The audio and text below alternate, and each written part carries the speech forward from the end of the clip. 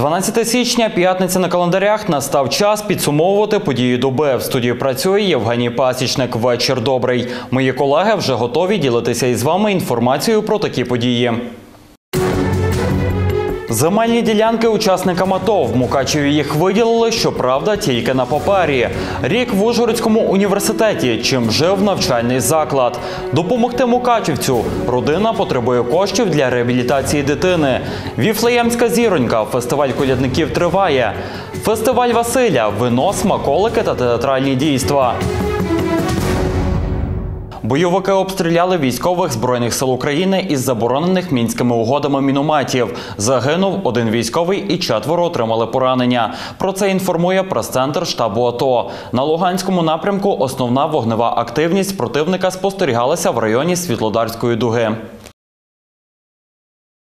Понад 400 земельних ділянок ще в 2016 році Мукачівська міська влада виділила учасникам АТО на вулиці Івана Франка. Та військові досі не можуть їх оформити. Виявляється, ці ділянки знаходяться біля полігону і належать Міністерству оборони, а не місту. Ще наприкінці минулого року наші журналісти висвітлювали земельну проблему. Тоді учасники бойових дій на сході утрималися від коментарів, але людям терпець увірвався, адже земельні ділянки тільки на папері. Їх не влаштовують. З одним із учасників АТО поспілкувалися мої колеги. Деталі в сюжеті.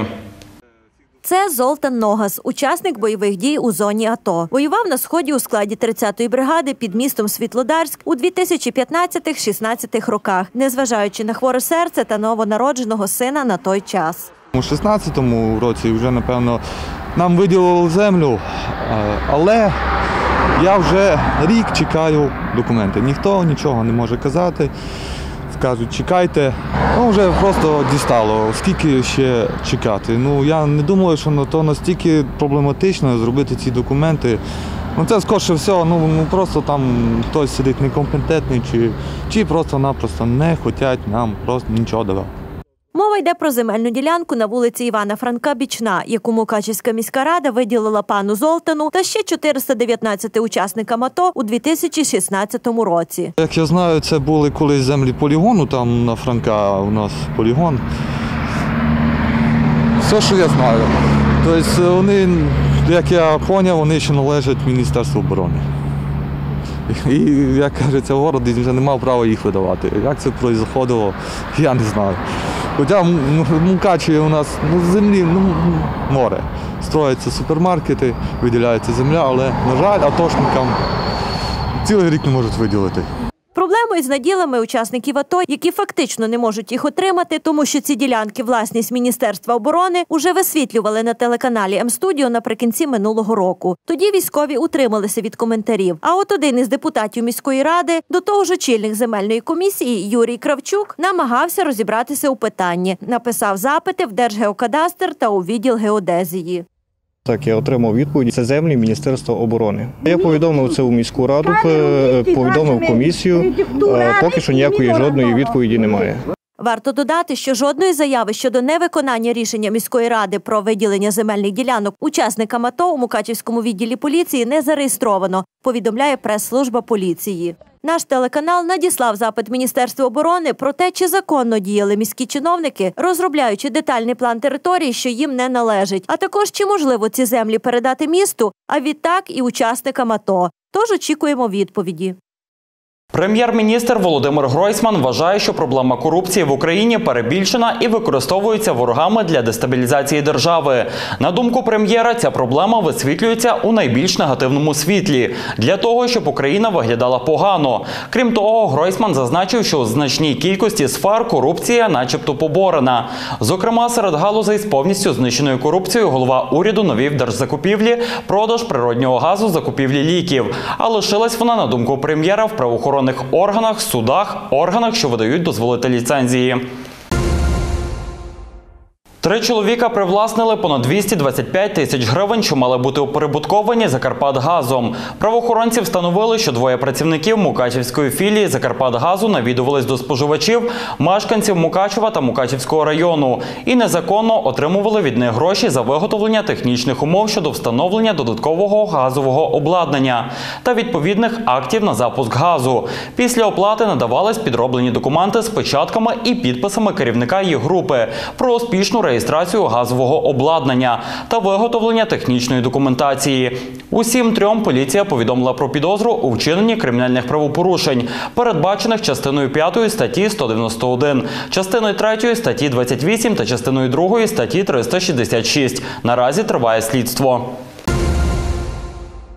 У січні Державна міграційна служба України має намір запустити додаткову лінію персоналізації документів, яка повинна зняти проблему технічного виготовлення закордонних паспортів. Це дозволить протягом найближчих місяців поступово повернутися до планової видачі закордонних паспортів у терміни до 7 або 20 робочих днів, в залежності від суми оплаченого адміністративного збору. Йдеться в повідомленні. Міністр освіти і науки Лілія Гриневич розповіла деталі підвищення зарплат освітянам на найближчі роки. За її словами, у 2019 році заробітні плати педагогічним працівникам планують підвищити ще на 25%. Вона навела приклад, що зарплати українським вчителям у 2017 році було підвищені на 50%, а з 2018 року ще на 25%. В наступному році вчителям планують підвищити зарплати на 25%. Міністр також додає, що викладання української мови в школах нацменшин дуже занедбане. А вчителі української мови в цих школах будуть отримувати найбільшу надбавку до зарплати. 11 січня відбулося засідання 12-ї позачергової сесії Тячівської районної ради. Передусім розглянули депутатське звернення про виділення коштів для закупівлі електрокардіографа для Углянської ДЛ, але воно не набрало достатньої кількості голосів. Також вирішили звернутися до президента України, голови Верховної Ради та прем'єр-міністра України щодо дозволу на використання освітньої субвенції на погашення заборгованості із виплати заробітної плати техперсоналу освітніх закладів. Фінансова децентралізація дозволила органам місцевого самоврядування приймати місцеві бюджети до прийняття головного фінансового документу країни держбюджету. На 9 січня вже затверджено 8 тисяч 940 місцевих бюджетів із 9 тисяч 16. Проте досі не затверджено 76 місцевих бюджетів. Також залишається відкритим питання по прийняттю бюджетів ОТГ, в яких вибори відбулися 24 грудня 2017 року. Підсумували 2017 рік в Ужгородському національному університеті. Керівники вишу розповіли, попри демографічну кризу, наразі в Ужну навчається рекордна кількість студентів. Говорили і про фінансове становище закладу та про зміни, які чекають на вищі навчальні заклади України у зв'язку зі стартом реформ. Щодо співпраці з урядом, то ректор каже, цілком нею задоволений. Мар'яна Мартин розкаже більше. У двадцятці кращих серед вузів України вже другий рік поспіль і Ужгородський національний університет. Сьогодні у вузі навчається майже 15 тисяч студентів, і це в період демографічної кризи. Ректор вузу розповідає, це рекордна кількість за останні роки. В цьому році у нас було зараховано вперше теж більше як 5 тисяч студентів. Відрадним фактом є те, що е, є позитивна динаміка кількості іноземних студентів. Кількість іноземних студентів вперше е, перевищила 1100 студентів. З роками збільшується і кількість ліцензованих спеціальностей, наголосив Володимир Смоланка. Стосовно фінансових питань каже, становище вузу стабільне: 178 мільйонів за загальним та 170 мільйонів за спеціальним фондом. Вистачає на заробітні плати, премії, стипендії, а також модернізації бази вишу, ремонтних робіт та будівництво. Розповіли керівники і про наукову діяльність вузу. Я завжди наголошував, що наш університет не тільки е, університет, який передає знання, а це є університет, який продукує нові знання. Уявіть собі, в минулому році ми виконували е, 34 держбюджетні теми, які фінансувалися з державного бюджету, на суму 6,5 мільйонів гривень. Крім того, виконували 76 проєктів госдоговірних і грантових на суму близько 4 мільйони. Таким чином, університет виконував е, 10, більше 10,5 мільйонів е, гривень е, фінансування було наукових проєктів. Сьогодні в УЖНУ також працює 382 аспіранти та 16 докторантів. Щодо працевлаштування студентів, представники УЖНУ розповідають, проводять профорієнтаційну роботу, співпрацюють із масштабними підприємствами. Створено відеорезюме наших випускників, магістрів, бакалаврів. Зараз е, проходить буквально зараз анкетування. Е, Наші студенти заповнюють анкети, які теж будуть розміщені на сайті. І завдяки цим анкетам роботодавці вже зможуть підшуковувати собі і відеоанкетам, і таким анкетам онлайн е, зможуть шукати собі працівників. Однак серед позитивних моментів не обходиться і без проблемних питань, зокрема фінансові небажання або ж відсутність можливостей випускників здобувати вищу освіту, а також пропаганда навчання чи то працевлаштування випускників за кордоном. Ця проблема вона вирішується університетом, але дуже добре, якщо би вирішували разом громадою. Це і мерія, і керівництво області, аби ми могли найкращих залишати у наших вусах, закарпатських, українських і готувати в майбутньому потрібних нам е, спеціалістів. На рік прийдешньої трудового колективу УЖНУ планів безліч. Це і міжнародна співпраця, і робота профорієнтації, будування нових приміщень. Чекають колективі на зміни, адже стартувала реформа освіти. Однак ректор вишу запевняє, очікують від нововведень тільки позитив. Ми дуже задоволені цим законом. Цей закон дійсно прогресивний. Він е, дає більш широку автономію вузам і, відповідно, дозволяє е, провадити всі, ріди, всі види активної діяльності, які вуз може проводити. Це дуже важливо, тому що я думаю, що це була основно, це було основною проблемою в діяльності вузів нашої країни. Вступили в силу норми закону про кримінальну відповідальність за домашнє насильство. Нацполіція отримала право контролювати поведінку кривдника, щоб не допустити повторного насильства. Також буде створений єдиний держреєстр випадків домашнього насильства. Розроблять програми реабілітації для постраждалих та їх кривдників. А другий закон передбачає нові засоби примусового виконання рішення до боржника, який боргує аліменти більше ніж на 6 місяців. А саме тимчасове обмеження у праві керування транспортним засобом, зброєю у полюванні і виїзді за кордон до повного погашення заборгованості зі сплати аліментів. Також, якщо боржник не платить аліменти більше ніж 6 місяців, тоді питання про тимчасовий виїзд дитини за кордон на термін більше одного місяця самостійно вирішує той з батьків, з яким раніше рішення суду було визначено місце проживання дитини. Викрадений в Угорщині БМВ затримали на кордоні. Іномарку, розшукувану Інтерполом, виявили прикордонники Мукачівського загону у пункті пропуску Вилок. БМВ угорської реєстрації під керуванням громадянина Угорщини прибуло на кордон вчора після опівночі. За фактом спрацювання бази даних поінформовано чергового Укрбюро Інтерполу. Водія та автомобіль передали представникам Нацполіції. Віршаві на площі Народній рятували від пожежі кафе. 12 січня осередком загорання стало приміщення на першому поверсі поруч з барною стійкою. Пожежу площею 6 квадратних метрів повністю ліквідували. Вдалося врятувати від знищення вогнем двохповерхове приміщення. Причини та збитки наразі встановлюються. Серед ймовірних розглядається коротке замикання електромережі. Травмованих на пожежі людей не було, повідомляє УДСНС України в Закарпатській області. 14-річний Максим з Мукачева потребує довготривалої реабілітації. В липні минулого року, внаслідок нещасного випадку в аквапарку, хлопець отримав перелом хребта і наразі прикутий до інвалідного візка. Він переніс кілька операцій. Лікування дороговартісне. Тож рідні Максима просять допомогти всіх небайдужих. Нещасний випадок, що стався з Максимом, влітку 2017-го розділив життя родини на до і після. Відпочинок в аквапарку закінчився для хлопця жахливо. Спуск з водної гірки, невдале падіння, як наслідок перелом хребта та забій спинного мозку. 1 августа була операція в нього в Ужгороді. Тобто у нього е, перелом хребта. Операція пройшла успішно.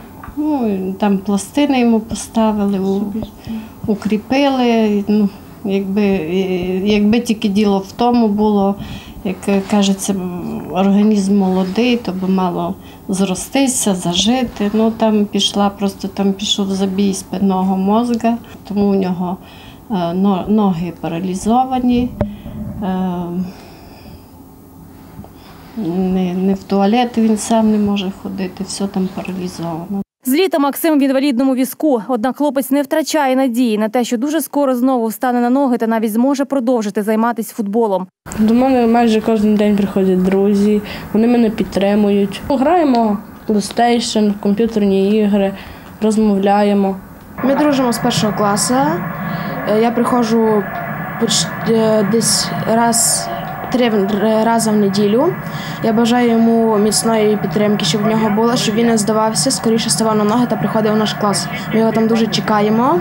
Мама Максима вдячна усім, хто їх підтримує та допомагає. Спортивний хлопчик в школі у всіх е, змаганнях участвував, де можна. Футболом сім років займався. От. Даже, знаєте, дуже тяжко, тому що мати здорову дитину і тепер бачити, в якому він стані, дуже тяжко. Максим пройшов два курси реабілітації. Вже є і перші результати. Зараз хлопець може самостійно пересісти з візка на ліжко та навіть навчився згинати ноги в колінах. На Миколая, там чудотворець Миколай нам послав. Бог поміг, що він от лежав тут і він нас покликав, і вже лежачи, він показав, що в нього ножка вже, тобто ногами він вже може згинати в колінах. Недавно був в церкві та приїхав, то ногу почав піднімати по чуть-чуть. То піднімаю тепер ноги.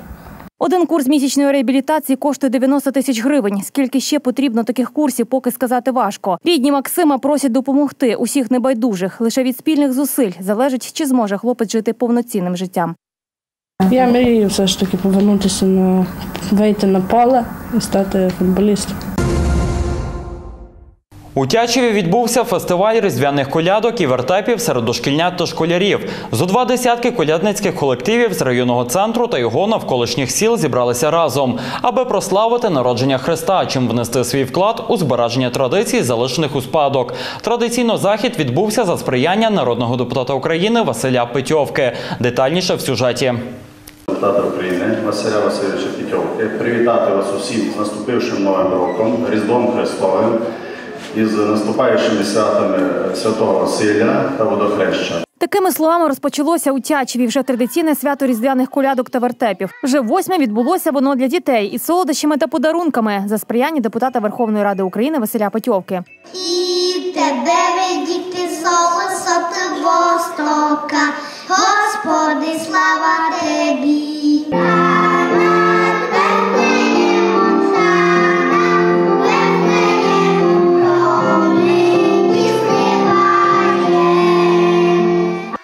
Сценічні образи дітлахів, що відтворили найкращі традиції українського народу. Їхнє колядування залишене від пращурів у спадок, а також унікальні декорації до кожного виступу вразили присутніх, подарувавши дух Різдва. З Різдвом Христовим зичимо щастя і много літ, щоб у вашій хатині, щоб у вашій родині і всім, хто є в залі, і всій Україні. А мати Боже, щастя, здоров'я і радість посилай, то вам зичу вінчу, Христос ся рождає. Щоб весела коляда миру хату принесе, щоб весело багато прожили різдвяне свято. Я рік новий те казковий час вітаю побажаннями до вас. А життів все було гарно, що сумували ма. Там достаток був хаті, щоб усі були багаті, щастя, радості багато. Хай здоров'я повний міг принесе вам новий рік.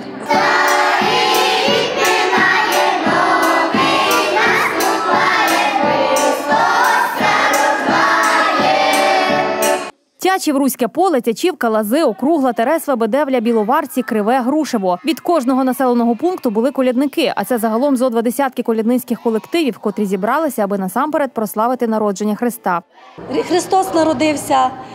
Це радість велика, тому що Він прийшов в цей світ, щоб спасти всіх нас, людей. Тому це дуже важливо, я, е, на мою думку, і побільше би таких заходів, які б несли в світ мир, любов, злагоду. Мир тобі, українська родина, святиться тут Боже ім'я, хай панують між вами шкоднини через слово і правда свята. Щоб на нашій Україні ниви призвітали, щоб у цьому році ви біди не знали. Добрий час, я з Різдвом вітаю вас, і з вечерію святою веселою колядою. Хай колядочка лунає, і з хай посипає, хай рік новий несе у хату, щастя, радості, багатий Христа все рождає.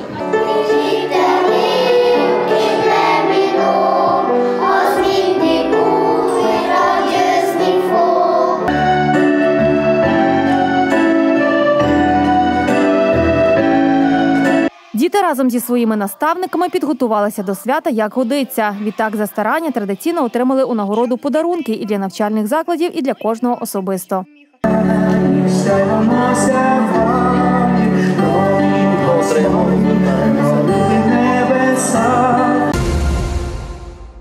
І на Рахівщині також колядують з метою популяризації українських різдвяних традицій. Ще вісім років тому був започаткований тоді ще конкурс колядок Віфлеємська зіронька. Сьогодні це фестиваль, який щороку збирає представників всіх дитячих навчальних закладів та початкових класів шкіл на спільну коляду. Цими днями щедрували та співали різдвяних пісень в Ясіня. Деталі розкаже Яна Шаршун.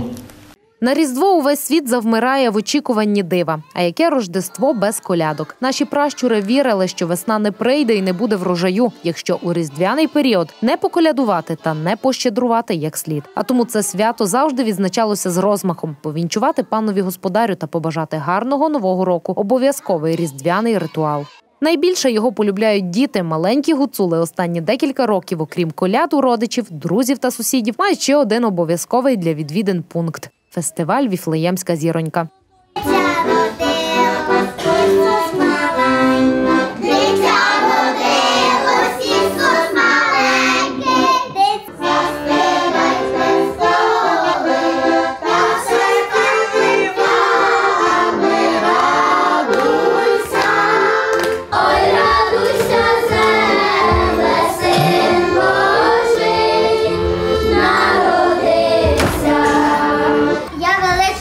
Хлопчик, зліз на стовпчик, мішком походжаю, коляду збираю.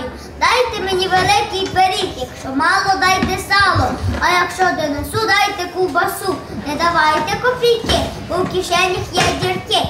Послухати колядки та пощедрувати прийшов і селищний голова. Він переконаний, традиції одна з основ культури народу. Це восьмий фестиваль за сприянням народного депутата Петьовки Василя Васильовича проходить у Ясенях. Беруть участь е, селище Ясеня, п'ять шкіл, е, два дітсадочки, а також е, сусідні села Чорнотиса, Лазіщина, Кваси і Білин. Кожен раз колядники е, колядують нові колядки. За словами учасників, зимові свята вони обожнюють, а колядувати ходять з великим задоволенням. Дуже-дуже люблю. А які колядки найбільше? Найбільше люблю небо і землю. До бабусі, до дідуся, до, до родичів, до вуйка, до тети. Я дуже люблю колядувати. Коляда то є гроші. За гроші все треба купувати. Успішні виступи юних колядників на сцені не в останню чергу залежать від музичних керівників. Вчителі кажуть, що на Рахівщині дуже талановиті діти, а тому працювати з ними легко. А ще тішить, що вони не байдужі до гуцульських традицій. Діти люблять співати і добре, що підтримують таку традицію, тому що, будучи, наприклад, в гостях, я побачив, що молодь починає все менше і менше співати. Наших гуцульських співанок оцих е, так якби трошки заумирає, і це треба відродити. На свято коляди у Ясіня завітав і житель Німеччини. Чоловік каже, що просто у захваті, адже у 21 столітті знайти населені пункти, де б настільки сповідували традиції предків, нелегко. Везу з собою в Німеччину масу вражень. Такого я ще ніде не бачив. У нас так не святкують, ніхто не колядує. Ось ніяк не міг подумати, що побачу таке в глибинці. Просто з неймовірними відчуттями та враженнями їду в Німеччину, щоб повернутися сюди ще раз. Обов'язково повернуся. Дякую за все. danke für alles. До слова, абсолютно всі учасники дійства отримали солодкі призи, а навчальні заклади, які вони представляли, цінні подарунки. Садочки, якщо бути конкретніше, отримали е, розвиваючі ігри, отримали синтезатори з мікрофоном, А для загальноосвітньої школи отримали е, набори спортивного приладдя. Це баскетбольні м'ячі, футбольні, волейбольні, а також е, скакалки, тенісні ракетки, бадмінтон, е, настільні ігри в футбол, шахи, шахмати. Організатори відзначають, що подібні заходи набирають популярності, тож наступного року чекають на більшу кількість учасників. Фестиваль колядок на Рахівщині проводиться восьме за ініціативи та підтримки народного депутата України Василя Петьовки. В обласному центрі офіційно відкрили фестиваль Василя. Участь взяли винороби з Угорщини, Словаччини, Румунії та інших країн. Свято проводиться на набережній Незалежності. Там розгорнули ярмарок вина, меду, сиру та фермерських продуктів. В наступному сюжеті про атмосферу фестивалю докладніше. Вже із вчорашнього дня в Ужгороді всі охочі мали нагоду скуштувати молоде вино на першому гастрономічно-колядницькому фестивалі під назвою Василля в Ужгороді. Його офіційний старт розпочався сьогодні. На спорудженій сцені в центральній частині міста лунали колядки та щедрівки від закарпатських творчих колективів.